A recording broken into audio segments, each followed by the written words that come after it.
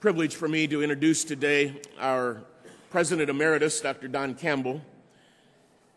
He received the Bachelor's of Arts in History from Wheaton College, where he graduated with highest honors. His THM and his THD were earned here at Dallas Seminary. He received the Lorraine Chafer Award in Systematic Theology as a graduating senior. And he's been honored both from Liberty University and Dallas Baptist University with honorary doctorates since earning his own. Before joining our faculty, he taught at the Dallas Bible Institute, was chairman of the department and assistant professor of Bible and philosophy at Bryan College in Dayton, Tennessee until 1954. Since 1954, he has held almost every office you could hold at Dallas Seminary. he was registrar, he was assistant professor and professor of Bible exposition. He was the acting chairman of the Bible Exposition Department. He was the academic dean, then the executive vice president, the vice president and chairman of the faculty, then president from 1986 to 1994. And since 1994, he has served us as president emeritus. He serves on numerous boards for evangelical ministries and schools, has served as a pastor, been a sought after conference speaker since 1949. He's authored a number of books and scholarly reviews. His first wife, Bee, of 44 years, went home to be with the Lord in 1991. And uh, through that marriage, he has uh, four adult children and nine grandchildren. And then he remarried in 1992 to Levon, which was his former wife's sister. And that was fun. and they share from her marriage, her marriage before her husband uh, departed this earth, three adult children and three grandchildren. So he has a, a beautifully blended family, children, grandchildren, and uh, knows both sides of the family, at least of two sisters. we who have known both of them love that, and it has uh, been a great set of relationships. But Dr. Campbell, we love you.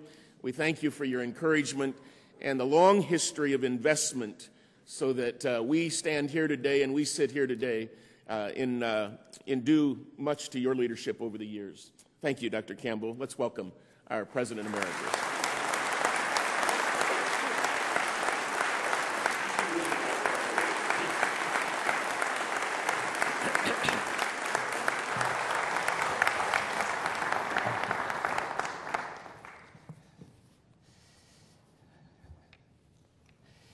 Inevitably,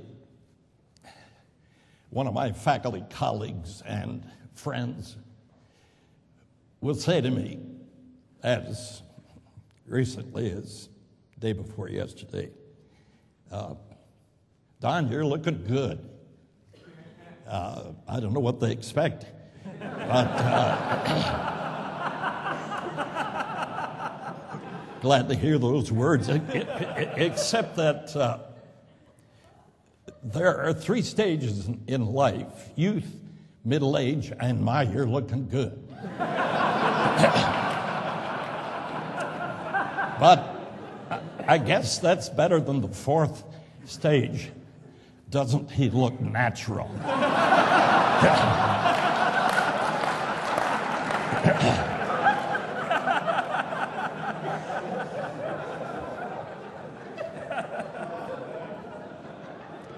open your Bibles.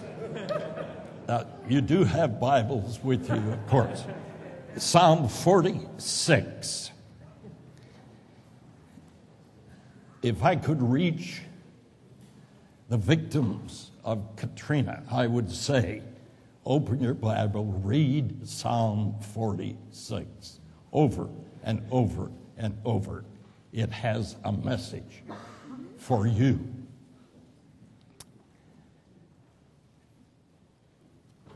Martin Luther, whose hymn we sang this morning, loved the Psalms. He studied them relentlessly. He taught them, he preached them. During some of the dark days of the Reformation, uh, Luther got discouraged and battled depression. And on some discouraging days, he would say to his friend and associate Philip Melanchthon, Philip, come here, let's sing Psalm 46. And out of that, of course, came a mighty fortress is our God. James Boice quotes Luther We sing this psalm to the praise of God because God is with us and powerfully and miraculously preserves and defends his church and his word against all fanatical spirits, against the gates of hell, against the implacable hatred of the devil, and against all the assaults of the world, the flesh, and sin. Psalm 46 tells us of some grievous national danger, some attack against Jerusalem by heathen invaders, some great deliverance that came through the mercy and power of God. Well, this national crisis is not specifically identified in the psalm. Some Bible scholars suggest that it was the invasion of Sennacherib into Israel 701 BC. He came, he surrounded Jerusalem. Jerusalem was besieged. And Hezekiah the king tried to buy his, their escape uh, by paying tribute. Isaiah the prophet said, God will deliver the city. And God did. One night, God sent an angel, and 185,000 Assyrian soldiers were slain. One angel, one night, 185,000. And God miraculously delivered the city. And I can imagine that Jerusalem just rang with, with hymns of praise to God. And the suggestion is that Hezekiah, on that occasion, penned Psalm 46. Whenever disaster strikes, God's people turn to Psalm 46, which assures us that regardless of the tragedy, God can cope and God will deliver. There are, it seems to me, three pictures three vignettes, if you please, in the psalm. We have a picture of, of, of nature and, and the calamities of nature. And we are so familiar with the fact that uh, storms can wreak terrible havoc in our world. The calamities of nature is the first picture or vignette. The second one is of a city under siege, and that is the city of Jerusalem. And the third picture is of a battlefield that is, is strewn with the wreckage of war. Uh, let's look at these three pictures. First, uh,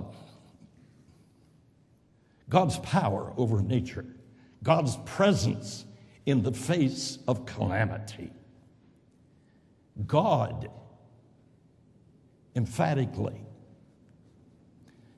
God, perhaps only God, is our refuge, our shelter, our strength, our inner strength, our help, our ever present help in trouble. Derek Kidner says, We never know or realize how close God is until we are in trouble. He is our bridge over troubled waters.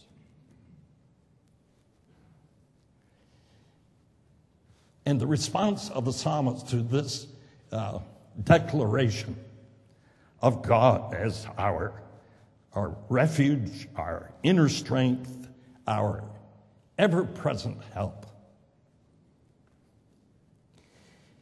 is found in verse 2 and, and 3.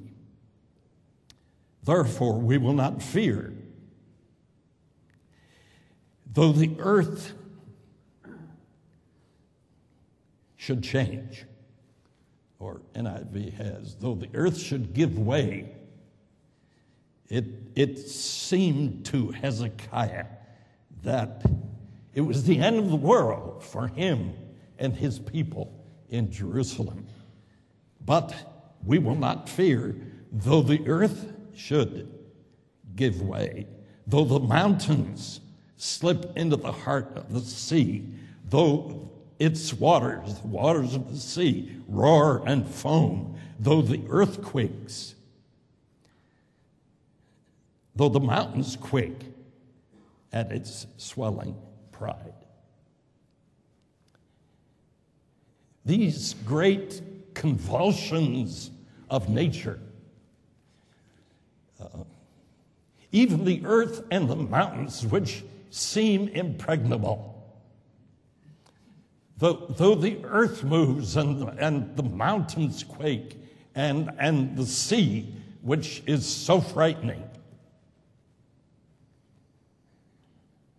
boils up, yet we will not fear because God is our shelter.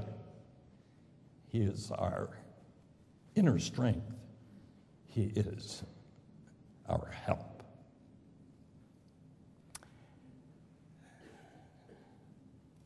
The second vignette uh, pictures the besieged city, uh, pictures Jerusalem under siege, and demonstrates God's power over Jerusalem's enemies, verses 4 to 7. In these four verses, God is referred to seven times. He's in every verse. For in that time of deep distress, Hezekiah says, if he wrote this, God is our resource, God is our help, and He is present verse 4. There is a river whose streams make glad the city of God. What does that mean? Because Jerusalem doesn't have any rivers. It, it has reservoirs uh, to collect rainwater, it, it has conduits that bring water brought water from the, the ancient so called pools of Solomon, south of Jerusalem. Oh, it had the Gihon Spring, uh, which in the earliest days of the city was probably its only water source. And Hezekiah uh, anticipating the coming threat from the Assyrians, had his engineers beginning at opposite points build or carve out, excavate a tunnel through the rock that would bring the water from the Gihon spring into the city, to the pool of Siloam.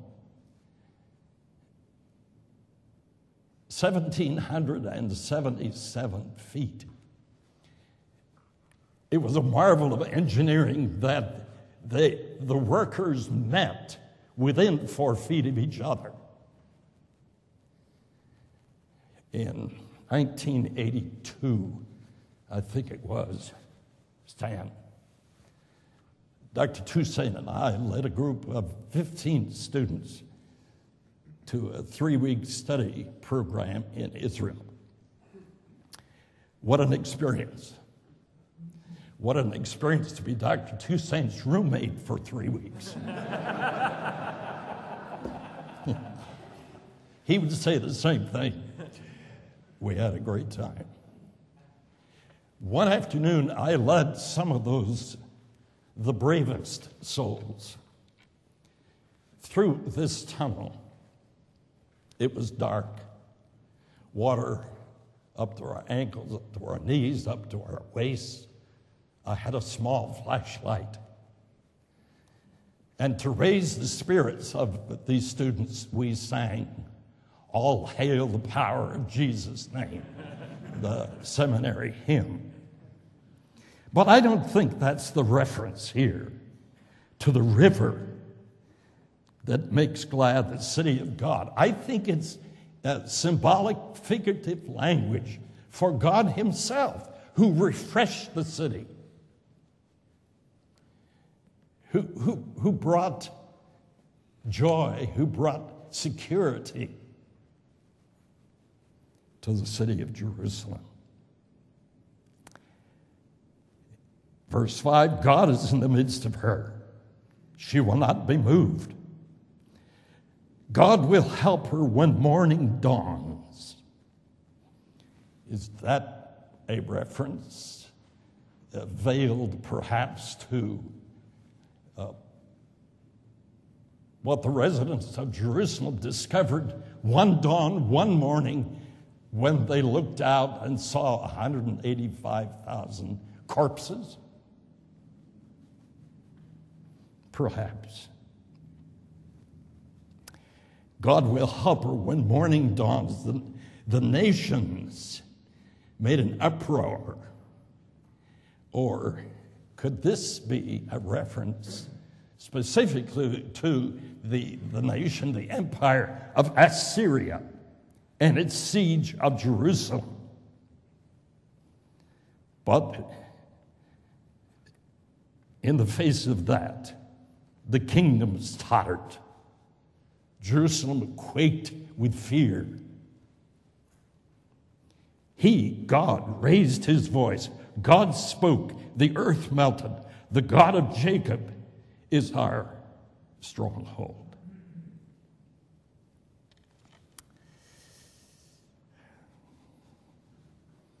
So, from the rage of nature to the rage of man, the siege of the city.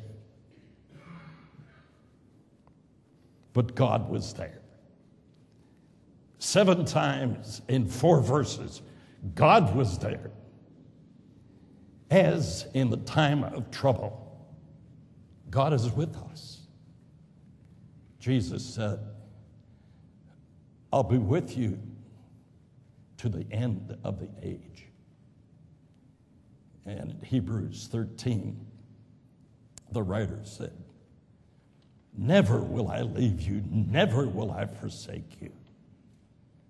He's with us in the storms of life. The third vignette, picture,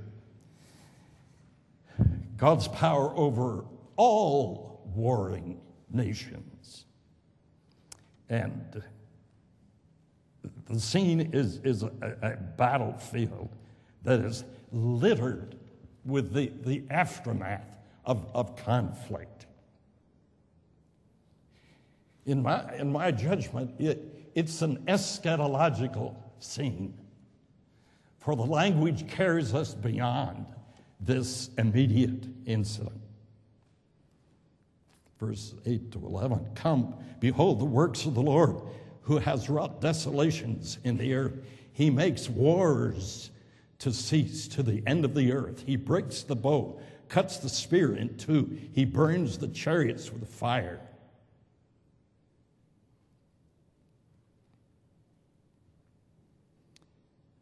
Come, behold the works of the Lord. He summons the people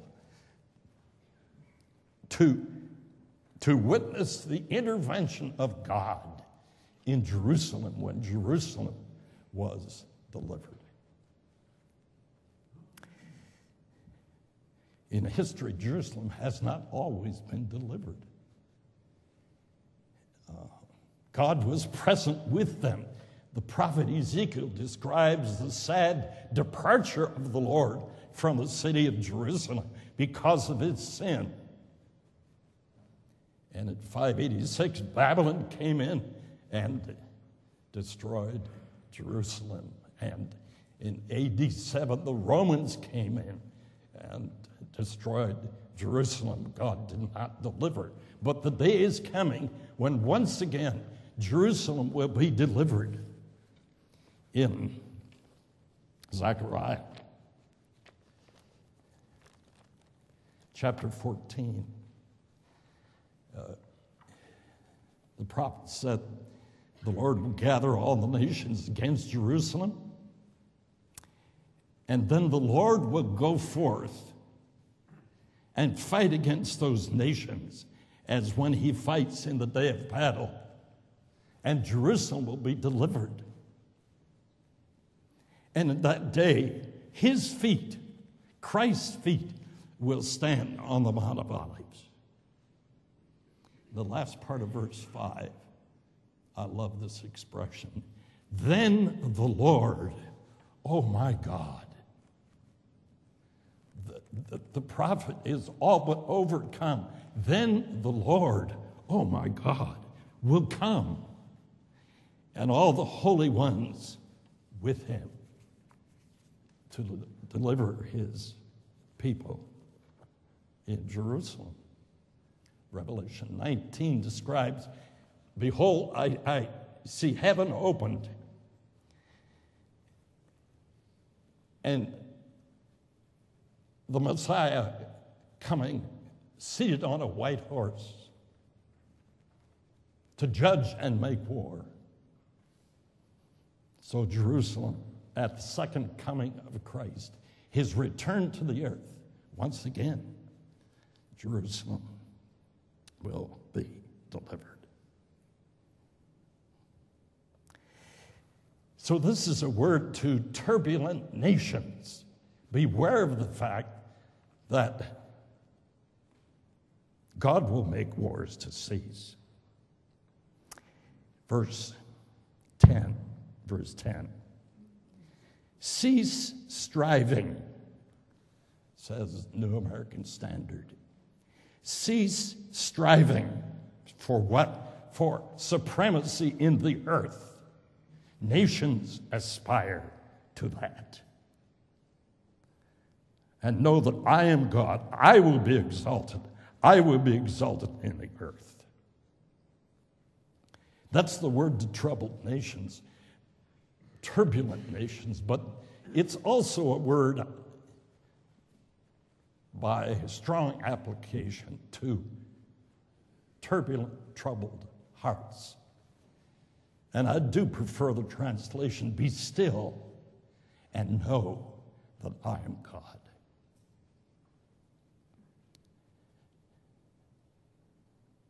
Twenty, twenty-three years ago, 22 years ago, I was in a hospital bed awaiting open heart surgery the next morning, which was not all that common in those days. And my wife had gone home. The room was dark. I turned on the bed lamp, reached over, picked up the Bible, opened it up, put my finger on a verse. I had taught my students in hermeneutics never to treat the Bible that way. But I faced a crisis. There was some uncertainty of what was going to happen the next day. I confess some fear. a, a, a troubled heart. And the verse I selected was Be still and know that I am God.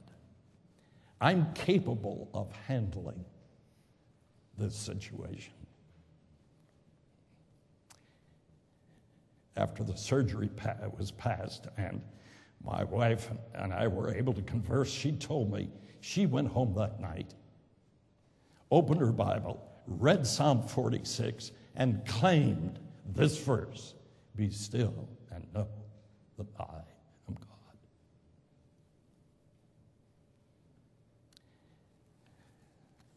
When John Wesley died,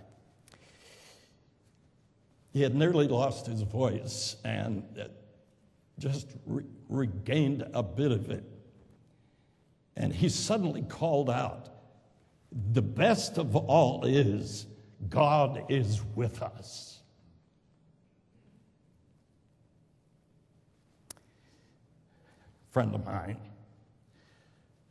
was in the office of a, a mission organization in Colorado Springs. He saw a motto on the wall For this I have Christ.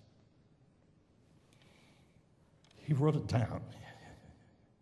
A couple of days later, a friend called.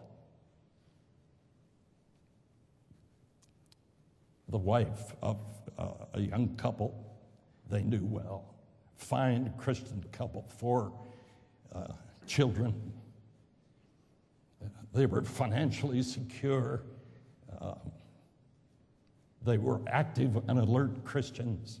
And suddenly, the doctor told her she had a severe, debilitating, ultimately fatal disease. My friend said, Listen, I saw this plaque. It said, For this I have Christ. She said, Just a minute. I want to write that down. Wrote it on a three by five card, put it on the door of the refrigerator. For this, I have Christ. My young friends, the storms of life will come.